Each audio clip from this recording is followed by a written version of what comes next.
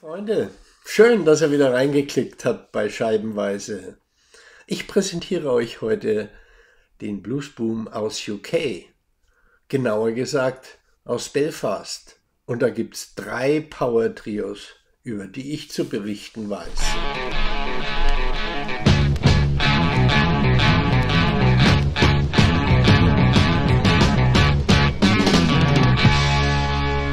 What's going Ja, was ist denn in Belfast los? Lauter junge Leute, die Musik machen wollen, ein Instrument lernen oder gleich in eine Band. Geht es denn ernsthaft um Musik? Oder wollen die nur den Mädels imponieren mit ihrem Können und ihrem Gesang am Lagerfeuer? Andere können ein bisschen auf den Töpfen rumklopfen und sie schleppen die Frauen ab. Oder wirklich hart Blues? Blues, Rock, das Lebensgefühl, das der Blues hergibt? Hm? Same old story.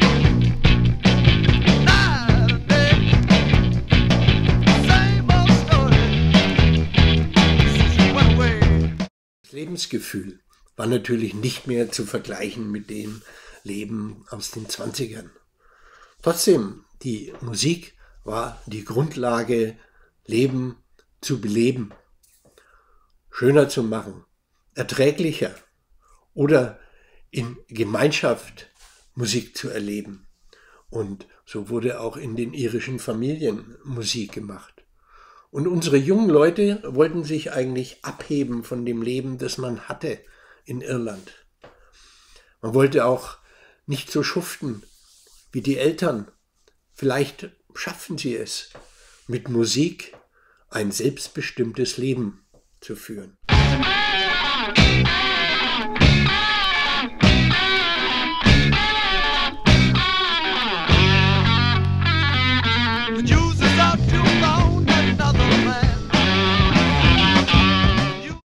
So um 1967 rum gab es in Belfast den Maritim Club und er bot jungen Leuten Auftrittsmöglichkeiten, auf der Bühne ihren Blues zu spielen. Ein 19-jähriger Rory Gallagher mit seiner Band Taste hatte dort laufend Auftrittsmöglichkeiten. Die hatten ein gutes Spiel, ein rauer Blues mit guten Riffs und das kam beim Publikum gut an. Die durften sogar eine Platte machen eine LP, aber die erschien nicht. Rory Gallagher hatte echt die Schnauze voll. Er trennte sich vom Line-up und ging nach London. Dort formierte er eine neue Taste. Rory war 20, wie er nach London ging, und schnell hatte er seine Band zusammen. Ein Trio. John Wilson, Schlagzeuger, hochexplosiv und rhythmusstark, und Charlie McCracken, schon ein betagterer Bassist, der aber den Anläufen von Rory durchaus standhalten konnte. Eine moderne irische Fassung des Chicago Blues. Explosive Riffs, immer wieder Licks und auch in Solos verfahren. Dann wieder rhythmisches Riffing und eine Solo-Gitarre, die so ein Feuer und so ein Tempo abspulte, dass das Publikum total mitriss. Und somit schafften sie es in London in kürzester Zeit zu Bekanntheit zu kommen. Polydor wurde aufmerksam und bot ihnen an, zwei Alben mit ihnen zu machen. Everyone is saying what to do and what to think. When to ask permission when you really want to blink. First look left and then look right and now look straight ahead. Make sure and take a warning of every word we say. Rory war Ire. An der nordwestlichen Küste von Irland wuchs er auf, nicht weit entfernt von der nordirischen Grenze. Auch Belfast war auf Hörweite und der Ruf, dass dort musikalische Ambitionen zur Entfaltung kommen könnten, weil es eine Art Melting Pot war, hat ihn erreicht und total gereizt. Seine Familie hatte nichts dagegen. Sie haben ihm ja schon mit zehn eine Fender Stratocaster geschenkt, den er seine musikalischen Ambitionen entwickeln konnte. Und in Belfast, das haben wir ja schon gehört, hat er eine prächtige Entwicklung genommen. Und dort traf er auf mehrere Musiker. Einer, den geht's hier weiter, war Gary Moore, auch Gitarrist, auch auf der Suche nach einer Band. Und auch Gary musste nicht mehr lange suchen. Die Band Skid Row suchte einen Gitarristen und Sänger. Und er traute sich singen zu. Gitarre spielen konnte er ja. Und sie kamen zusammen. Gary Moore wurde Mitglied der Band Skid Row. Six nights and every Sunday.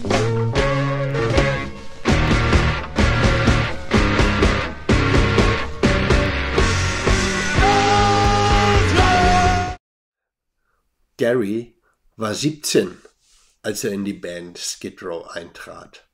Er hatte schon ausgesprochene Solofertigkeiten an der Gitarre entwickelt, eine Fingerfertigkeit, eine Geschwindigkeit und einen total druckvollen Sound, den er mit der Gitarre erzeugen konnte. Ihm fehlte es noch am Stil. In der Band war ein Sänger, richtig ausgesprochen Phil Leinert, wie seine Tochter das noch einmal bestätigte. Phil Leinert und Gary Moore waren in einer Band, aber nur für eine Single. A und B-Seite haben sie eingespielt. Der Leader der Band, Skid Row, bat Phil Lynott, die Band zu verlassen. Sie haben jetzt einen Sänger und Gitarristen und Phil Lynott ging. Er gründete Thin Lizzy. Dazu später. Gary Moore, seinen 17 Jahren, war ja im musikalischen Background schon durchaus aufgewachsen. Sein Vater war Promoter vom Baleo in äh, Belfast, einem Veranstaltungsort für verschiedene künstlerische Darbietungen, auch für Bands. Gary hat schon mit sechs gesungen keltische Sachen. Und da war ihm das Gefühl klar, er will auf die Bühne und äh, Musiker werden. Er hatte auch schon frühzeitig eine Gitarre bekommen und somit entwickelte er seine Fertigkeiten. Bei Skid Row gab es auch keinen wirklichen Stil. Es war etwas suppig, schrubbelig, die hatten schon gute Einfälle und die hatten auch ein druckvolles Spiel. Aber war es Rock, war es Blues, war es Hard Blues, war es Psychedelika?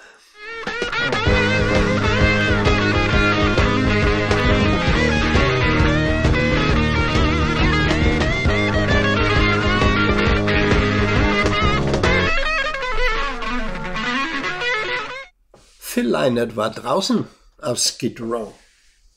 Er gründete das Trio Thin Lizzy und Gary machte in der Band weiter.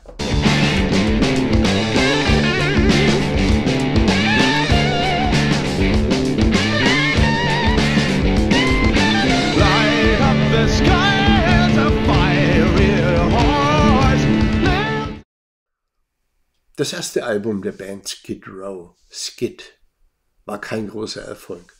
Trotz Radio Play schafft es das Album lediglich auf Platz 30 der Charts. Sie hatten einen Auftrag über zwei Alben und spielten somit ein zweites Album ein. Und Gary war wieder dabei.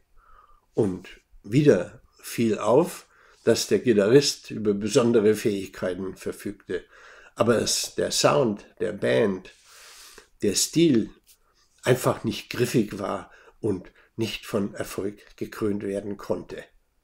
Und die Band löste sich auf. Gary war 18. Er machte natürlich weiter. Und als Gastmusiker bei der Band Dr. Strangely Strange, eine Folkband mit englischen traditionellen Songs, spielte er die Leadgitarre.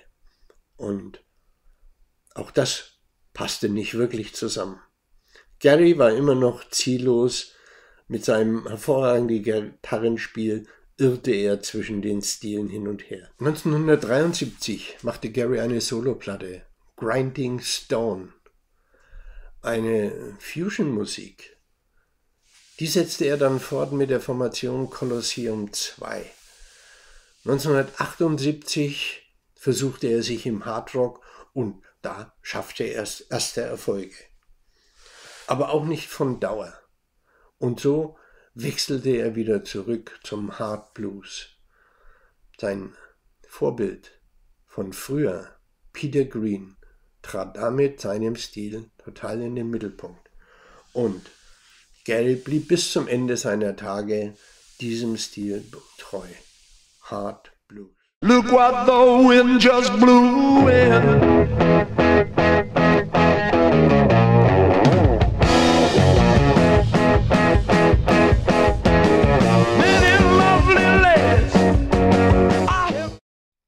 Phil Leinert war 20, als er Skid Row verließ.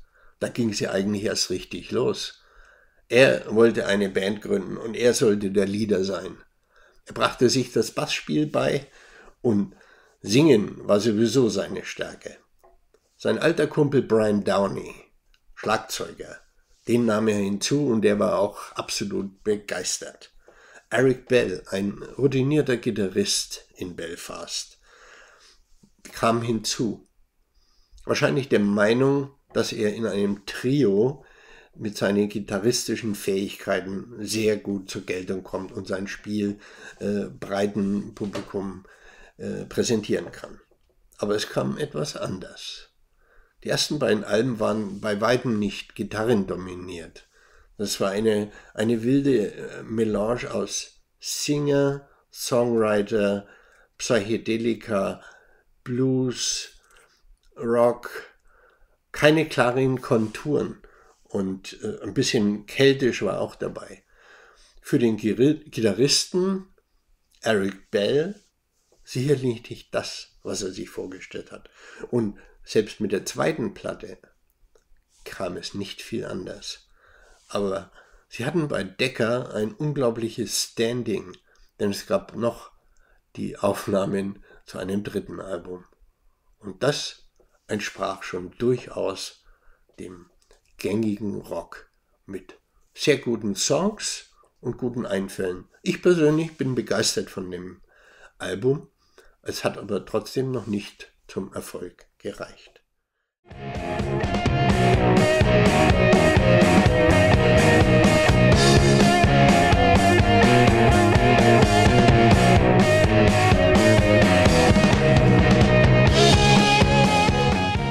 Erst wie die Band sich zum Quartett entwickelt hat und zwei Gitarristen in der Band waren, ging es steil bergauf. Später kam sogar noch einmal Gary Moore zum Line-up dazu. 1974 als Gast und 1978 bei einem Mega-Album von Tin Lizzy Black Rose. Like the morning sun, you must remember, as cold as December, can't remember.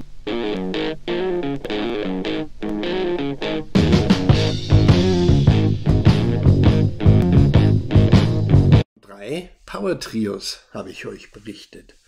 Aber eins müsst ihr noch wissen. Das zweite Album der Band Taste, On the Boards, war ein Mega-Album.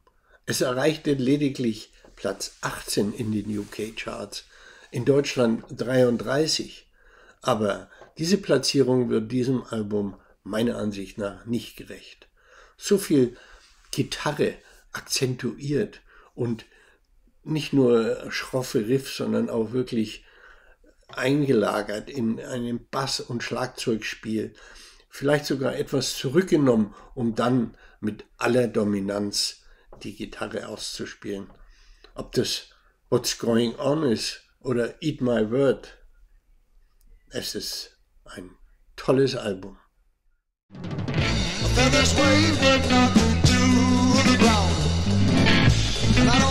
Stop